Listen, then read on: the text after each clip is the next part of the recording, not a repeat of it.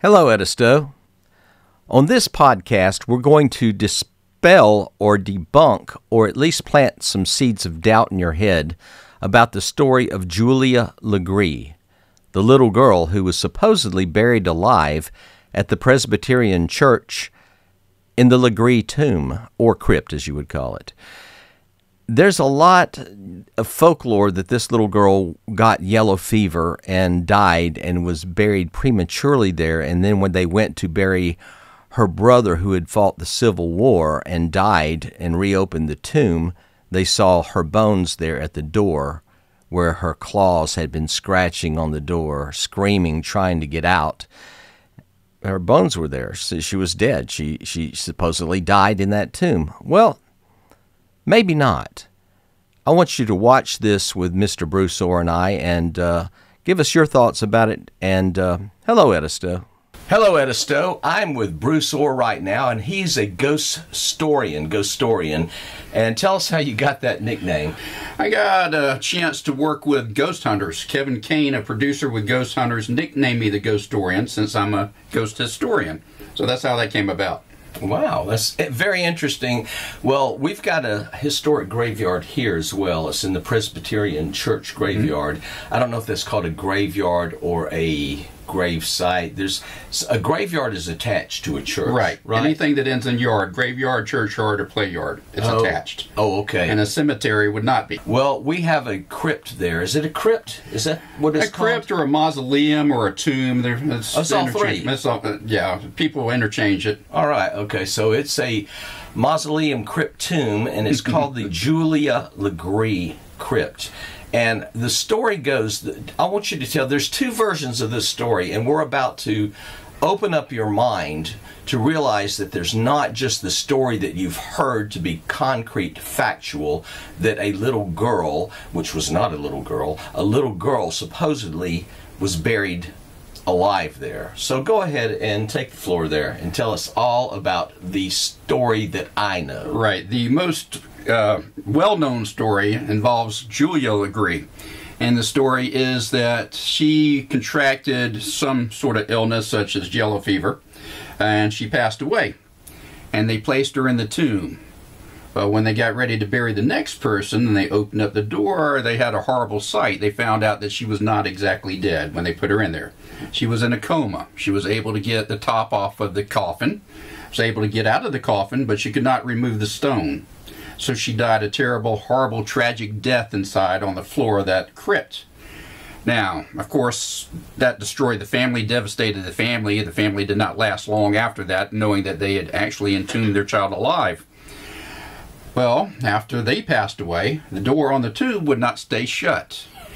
The door would keep opening. This big, massive stone door that the child couldn't even remove would open. Every time they'd get it closed, they'd go back the following morning and find the thing open.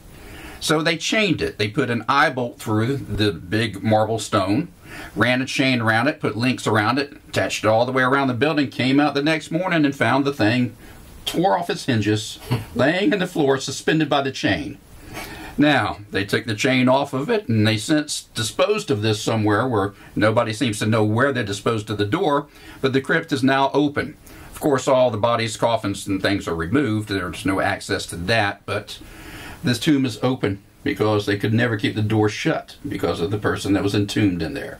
Some people say there's no remains whatsoever inside, but we we don't know. There may right. be remains inside down below. It seems like they could thermograph that and find out. They could. Anyway, so that was the first story, almost like it was the white story told by white people, right? Well, there there are versions of stories. Right. Somewhere in between the mixture of stories probably lies the truth somewhere in it. a mixture of both. Right. But when I started doing my project for a, a, book titled after my company, Lost in Legend, Lost in Legend, that is my company, and the, that came about because usually the facts get lost in the legend. Okay. As you were just discussing. So right. if you look in the legend long enough, you have to try to sift through it to find the facts and then take those facts and start working backwards and find the story. Right, right. So you've got, you know, hundreds of years of people playing that game of telephone. Mm-hmm. You know, somebody adds something to it each time, or somebody takes something away from the story each time. Well, when it gets to this story, I did that book Lost in Legend in 2018, started doing a little research, and I knew the story that we all knew, but I knew there was problems with it because growing up in the 70s, the, the victim was always a boy. So how did it become a girl? Well, going back and doing the research, I grew up with a lot of different books I enjoyed, but there was one by an author named Nell S. Graydon. It's called South Carolina Ghost Tales, and it featured the story of the Legare tomb. Well, when she had that book published in 1969, I believe, and it became very, very popular in the 70s, she made a statement in that book saying that there was a young female child entombed in there who had died, I believe, of diphtheria. Mm-hmm. She was entombed in there, and then when they went back, they found out that the child was alive and had perished in the tomb, had been buried alive, according to the story. She never said it was Julia Legare. She said it was a female child that was put in there. Mm-hmm.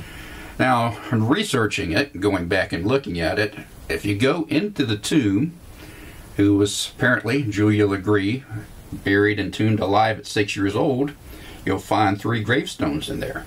If you look at Julia Legare's, it says that she died at the age of 22. Yes, I not six it. years exactly, old. Exactly, exactly. So, so and boom, there goes boom, that there goes that whole theory right. about it being a girl.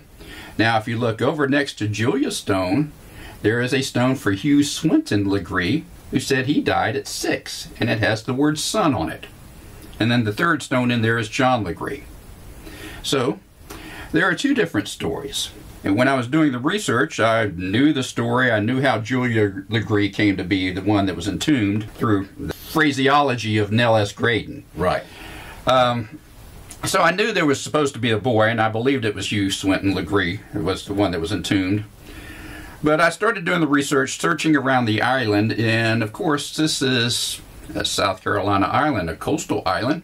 So you get into the Gullah Geechee culture. Seriously, you dude, get seriously, into yeah. the uh, culture that evolved during enslaved times when people were enslaved, and their belief systems, and then you get into hoodoo and root magic. Roots, roots, yeah, yeah. Somebody put the roots on somebody. Exactly. I've heard that. I've heard that. That is, yeah. and hoodoo mm-hmm. and root magic is very prevalent when it comes to the coastal islands, and, and also some people, some people believe very real. Yes. I was fortunate enough to get introduced to somebody that was involved in hoodoo. Hmm. And they told me a different story. Let's and this story is a lot more creepier if you get into it. All right. When we when you go through the story, what you have is he married Julia in 1848. She passed away in 1852 at the age of 22. Mm-hmm. Two years later, his son died. Hugh Swinton Legare at the age of six. He puts him in the tomb. Now, according to Nell S. Graydon, they opened up that tomb to put a child in mm-hmm. who was deceased that was visiting, who apparently had died from diphtheria. Mm-hmm. That's not uncommon. That goes back to even Christianity Christianity practices. Mm-hmm. Jesus was even put in a borrowed tomb. Yeah. So they would put the child into the tomb to keep this disease from spreading. Well, imagine, if you will, this child's been dead for two years. They opened it up, as she said, in 1850s. Well, what if it was 1856? They open it up, and he finds out his son had been buried alive. He had, in fact, killed his own child. Oh, how do you live with that? He didn't. He died in 1856, exactly two, two years. years. so you got Julia, 1852, his son in 1854, and him in 1856, keeping to that two-year increments of the hoodoo curse. So, which is scarier? Oh, that one. That one definitely, that one and that far. is what the root doctors and the hoodoo magic says happened. He got in on the wrong side of a root doctor and basically displeased him and got cursed for it. Does anyone know how he displeased this root doctor? No, that was not known. but uh, you know, you're going back into days of slavery days of entitlement and empowerment on the island, and it was a culture shift. Right. Major culture shifts, and then of course, you know, this is you're talking pre-Civil War, mm. so you know there's that mentality, that framework, that mindset of that time. So it probably wouldn't take in a whole lot to displease a root doctor during that time, right? okay. a hoodoo doctor. But that's what the curse was. So That is a, a, very interesting story because uh, for years we've just heard this. And I went in the tomb, crypt, whatever it was, I went in there just to do the Halloween special and I noticed that Julia must have been in her 20s. So mm-hmm. I was like, how could she be a little girl? Right. And then I put the story up on Hello Edisto, and then you were kind enough to say, right. you might want to think about this. A mutual friend of ours contacted me and referred me to it to listen to an EVP that you had. And then I listened to the whole series, and I thought, you know, I might want to reach out and share. And that's what happened. That's how we met.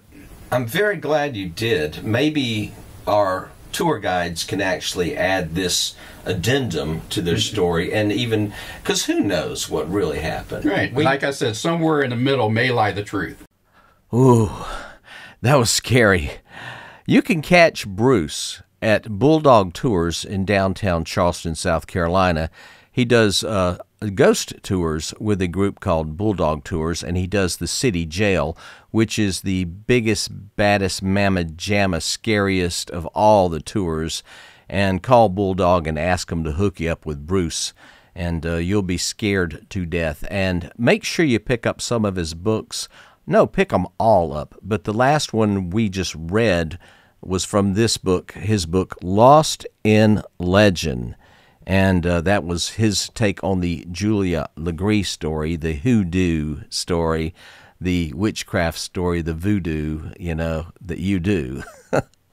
Anyhow, we're going to have a great year here at Hello Edisto, and we want you to be a part of it.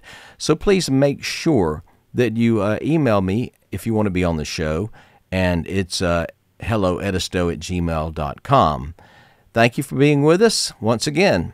The people the places you love and you know. Hello, Edisto.